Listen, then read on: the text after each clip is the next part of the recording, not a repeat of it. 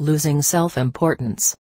Immediately after I arrived at his house he took me for a walk in the desert chaparral.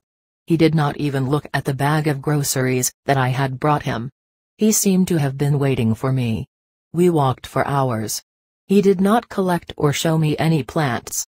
He did, however, teach me an appropriate form of walking. He said that I had to curl my fingers gently as I walked so I would keep my attention on the trail and the surroundings. He claimed that my ordinary way of walking was debilitating and that one should never carry anything in the hands. If things had to be carried one should use a knapsack or any sort of carrying net or shoulder bag. His idea was that by forcing the hands into a specific position one was capable of greater stamina and greater awareness. I saw no point in arguing and curled my fingers as he had prescribed and kept on walking. My awareness was in no way different nor was my stamina. We started our hike in the morning and we stopped to rest around noon. I was perspiring and tried to drink from my canteen, but he stopped me by saying that it was better to have only a sip of water. He cut some leaves from a small yellowish bush and chewed them. He gave me some and remarked that they were excellent, and if I chewed them slowly my thirst would vanish. It did not, but I was not uncomfortable either. He seemed to have read my thoughts and explained that I had not felt the benefits of the right way of walking or the benefits of chewing the leaves because I was young and strong and my body did not notice anything because it was a bit stupid. He laughed. I was not in a laughing mood and that seemed to amuse him even more. He corrected his previous statement, saying that my body was not really stupid but somehow dormant. At that moment an enormous crow flew right over us, cawing. That startled me and I began to laugh.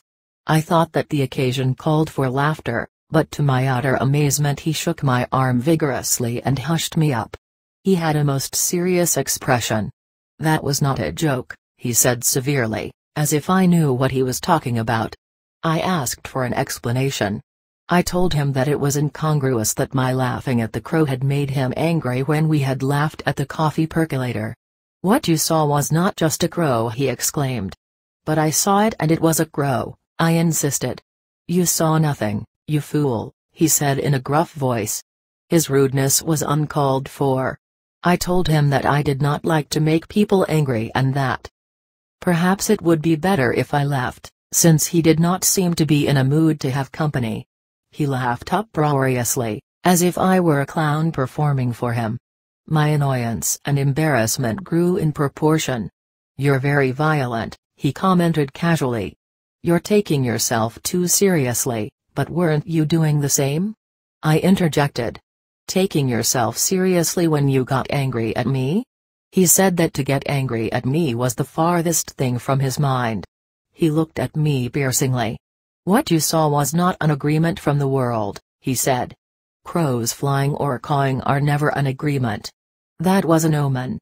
An omen of what? A very important indication about you, he replied cryptically. At that very instant the wind blew the dry branch of a bush right to our feet. That was an agreement. He exclaimed and looked at me with shiny eyes and broke into a belly laugh. I had the feeling that he was teasing me by making up the rules of his strange game as we went along, thus it was all right for him to laugh, but not for me. My annoyance mushroomed again and I told him what I thought of him. He was not cross or offended at all. He laughed and his laughter caused me even more anguish and frustration. I thought that he was deliberately humiliating me. I decided right then that I had had my fill of field work. I stood up and said that I wanted to start walking back to his house because I had to leave for Los Angeles. Sit down. He said imperatively. You get peeved like an old lady. You cannot leave now, because we're not through yet. I hated him. I thought he was a contemptuous man. He began to sing an idiotic Mexican folk song. He was obviously imitating some popular singer. He elongated certain syllables and contracted others and made the song into a most farcical affair. It was so comical that I ended up laughing. You see, you laugh at the stupid song, he said. But the man who sings it that way and those who pay to listen to him are not laughing, they think it is serious. What do you mean? I asked. I thought he had deliberately concocted the example to tell me that I had laughed at the crow because I had not taken it seriously, the same way I had not taken the song seriously. But he baffled me again. He said I was like the singer and the people who liked his songs, conceited and deadly serious about some nonsense that no one in his right mind should give a damn about. He then recapitulated, as if to refresh my memory, all he had said before on the topic of learning about plants. He stressed emphatically that if I really wanted to learn, I had to remodel most of my behavior. My sense of annoyance grew, until I had to make a supreme effort to even take notes. You take yourself too seriously, he said slowly. You are too damn important in your own mind. That must be changed. You are so goddamn important that you feel justified to be annoyed with everything. You're so damn important that you can afford to leave if things don't go your way. I suppose you think that shows you have character. That's nonsense. You're weak, and conceited. I tried to stage a protest but he did not budge. He pointed out that in the course of my life I had not ever finished anything because of that sense of disproportionate importance that I attached to myself. I was flabbergasted at the certainty with which he made his statements. They were true, of course, and that made me feel not only angry but also threatened. Self-importance is another thing that must be dropped, just like personal history, he said in a dramatic tone. I certainly did not want to argue with him. It was obvious that I was at a terrible disadvantage, he was not going to walk back to his house until he was ready and I did not know the way.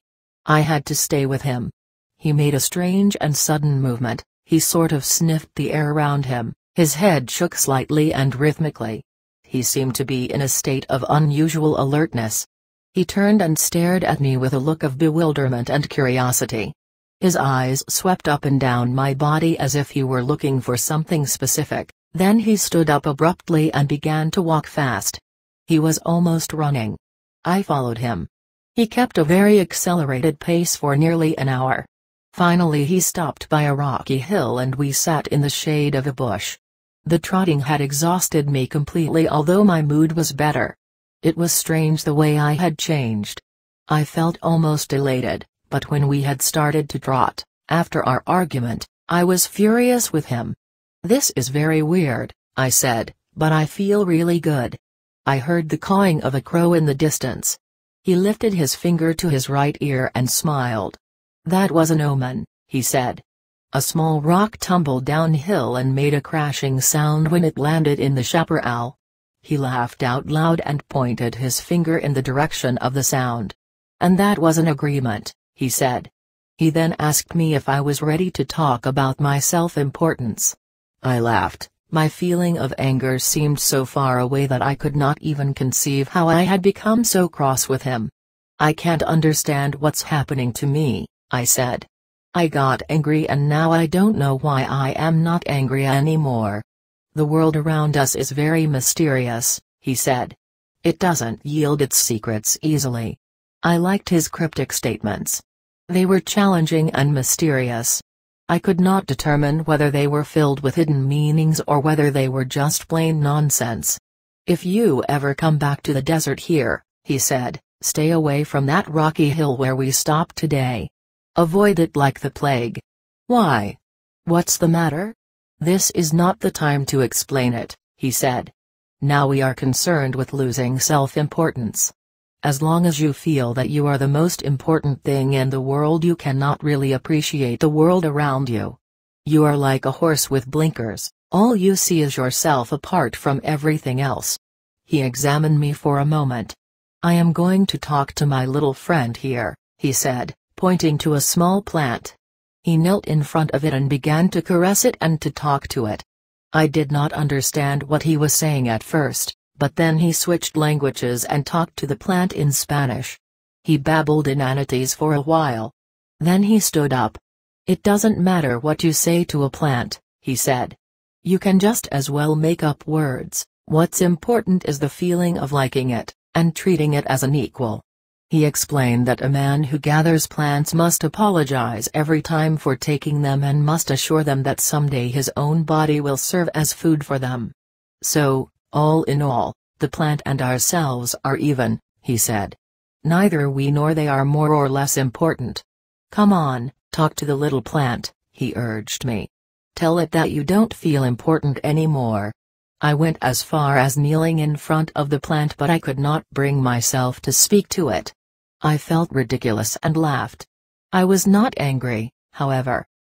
Don Juan patted me on the back and said that it was all right, that at least I had contained my temper. From now on talk to the little plants, he said. Talk until you lose all sense of importance. Talk to them until you can do it in front of others. Go to those hills over there and practice by yourself. I asked if it was all right to talk to the plants silently, in my mind. He laughed and tapped my head. No. He said. You must talk to them in a loud and clear voice if you want them to answer you. I walked to the area in question, laughing to myself about his eccentricities. I even tried to talk to the plants, but my feeling of being ludicrous was overpowering. After what I thought was an appropriate wait I went back to where Don Juan was. I had the certainty that he knew I had not talked to the plants. He did not look at me. He signaled me to sit down by him. Watch me carefully, he said. I'm going to have a talk with my little friend. He knelt down in front of a small plant and for a few minutes he moved and contorted his body, talking and laughing. I thought he was out of his mind. This little plant told me to tell you that she is good to eat, he said as he got up from his kneeling position. She said that a handful of them would keep a man healthy. She also said that there is a batch of them growing over there. Don Juan pointed to an area on a hillside perhaps 200 yards away. Let's go and find out, he said. I laughed at his histrionics. I was sure we would find the plants, because he was an expert in the terrain and knew where the edible and medicinal plants were. As we walked towards the area in question he told me casually that I should take notice of the plant because it was both a food and a medicine. I asked him, half in jest, if the plant had just told him that. He stopped walking and examined me with an air of disbelief. He shook his head from side to side. Ah! He exclaimed, laughing. Your cleverness makes you more silly than I thought. How can the little plant tell me now what I've known all my life?